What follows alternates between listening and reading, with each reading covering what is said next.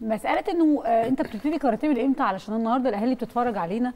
الناس دلوقتي كلها بتودي ولادها التمارين عندها آه يعني آه ما, بق... ما بقيناش زي قبل كده ما كانش فيه اهتمام بالرياضة بالشكل اللي إحنا بنشوفه ده وخصوصا الرياضات الفردية. دلوقتي بقى العكس تماما. الأهالي مهتمة اهتمام كبير برياضات تانية غير كرة القدم اللي كانت الناس قبل كده كل ولاد عنده ولد بيمرنوا كورة. طيب أنت النشأة بتاعتك كانت أخبارها إيه؟ بتلعب كاراتيه من وأنت عندك قد إيه؟ وايه شكل التدريبات كانت إزاي في حياتك من وأنت عندك كام سنة؟ كنت بتتمرن كام يوم في الأسبوع؟ دراستك؟ عملت إيه في كل ده علشان النهارده توصل انه تكون بطل عالم؟ أنا بدأت كاراتيه وأنا كان عندي خمس سنين. مم. كانت بالنسبة لي لعبة ما كنتش أعرف عنها أي حاجة خالص. لقيت والدتي بتقول لي خش اقف مع زمايلك والعب كاراتيه. أنا مش فاهم أنا بعمل إيه. أنا لابس بدلة بيضاء ابيض حد في إخواتك كان بيلعب كاراتيه أو في العيلة أو كده؟ مفيش حد خالص. هي قالت لي هي شافت اللعبة دي عجبتها فقالت لي خش جربها. فأنا كنتش حابب الموضوع بس مرة عن مرة حبيت الموضوع لقيت الموضوع ليه أهمية كبيرة. لقيت نفسي بعد كده دخلت في نادي بدأت في نادي اتحاد الشرطة. قعدت فيه بتاع حوالي سبع سنين أو ثمان سنين. بدأت فيه بطولات القاهرة والجمهوريه وكنت بجيب أول قاهرة وأول جمهورية.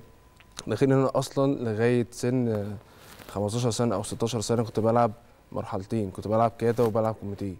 وسافرت كمان بطولة عالم ناشئين وأنا بلعب كاتا وكوميتيه. فدي حاجة مش مش قليلة.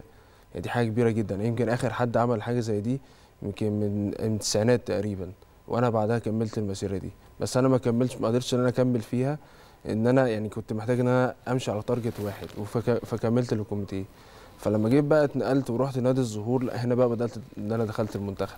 من ساعة ما دخلت المنتخب أنا بجد ما كنتش بشم نفسي خالص.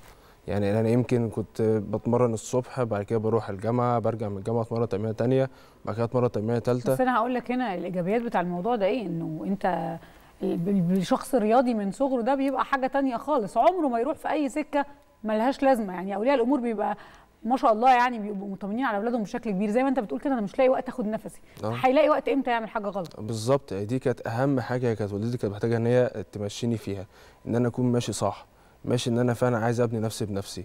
دي الرياضة دي الحاجة اللي فعلا هتخليني أبني شخصيتي وأبني مستقبلي وأبني ككارير ليا بعد كده بعد ما أنا أبطل اللعبة دي.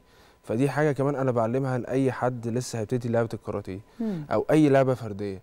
يا ريت لما تبدأ رياضة ابدأ رياضة وأنت حاببها ما تبقاش كارهها لأن بعد كده هتبقى حاجة مهمة بالنسبة لك جدا. وأوعى أوعى في لحظة تفكر في لحظة ضعف أو لحظة عصبية إنك تسيب الكاراتيه أو تسيب اللعبة الفردية اللي أنت بتلعبها. أنا الصراحة مش بؤمن بالالعاب الجماعية قوي عديت بلحظات زي دي؟ كتير كتير جدا. مم. يعني في أي مرحلة سواء في مرحلة الناشئين شباب رجال عديت بمرحلة كتير. وخاصة كانت أكتر مرحلة بالنسبة كانت مرحلة الأولمبياد. اللي كنت أنا محتاج وكنت من ضمن الناس المرشحة. توتر إرهاق. كتير. إيه اللي إحنا كنا مثلا إحنا كان عندنا في السيزون يمكن 8 سفريات. مم. وفي كل شهر سفريتين. في بداية الشهر سفريه في آخر الشهر سفريه. ما بينهم بنتمرن معسكرات ليل نهار عشان نستعد للبطولة اللي بعدها. أنا ساعتها كان سن صغير وما كنتش متعود على الحاجة دي. في ناس مني كانت خبرة عني وكانت شغال في الموضوع ده من قبل كده. بس أنا كانت بالنسبة لي حاجة كويسة وحاجة وحشة. الحاجة كويسة باخد خبرة وبلعب مع ناس كبيرة. الحاجة الوحشة ما كنتش بجيب نتيجة. مم. بس في الآخر كان عندي تارجت مهم وحققته. اللي هي بطوله عالم بتاعت 21 كاف تشيل 2019 مم. لما رحت لعبتها لعبت ال final مع لاعب من فرنسا وساعتها اللاعب ده كان مصنف الثاني في ال rank. مم. لما نزلت لعبت معاه أنا هنا طبعا أدركت كنت أهمية الشدة الرهيبة بقى اللي أنت كنت مشدودها دي والمنافسات الدولية اللي شاركت فيها وزي ما أنت كنت بتقول ما كنتش بتكسب لكن الخبرة هنا بانت بقى. بالظبط. هنا بقى لما وصلت ال final أنا كسبت ال final وأنا فعلا مش فاهم أنا بعمل إيه. أنا مم. جبت ميدالية ذهب وأنا فعلا الخبرات اللي تراكمت من المشاركات السابقة. بالظبط. من بعدها بقى ربنا الحمد لله كرمني وبقيت دلوقتي المصنف الثاني على العالم. وفي كل دوري عالمي بلعبها الحمد لله. بجيب أول مرة أجيب تاني. جبت مرتين أول ومرة تاني. ده لسه إن شاء الله اللي إحنا يعني في بطولة الدوري العالمي اللي هتتعمل إن شاء الله هنا في القاهرة.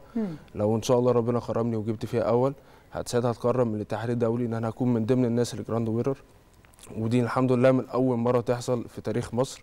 يبقى في ثلاثة مؤهلين لل grand winner أصلا. مم. فدي حاجة فعلا يعني بنشكر الاتحاد عليها وعلى اهتمامها والوزارة وكل الناس اللي دعمتنا بجد. يعني وفر لنا حرفيا كل حاجة. فبجد نتمنى أحسن وأحسن إن شاء الله سواء للجيل الصغير أو للناس اللي لسه مكملة دلوقتي إن شاء الله. يا رب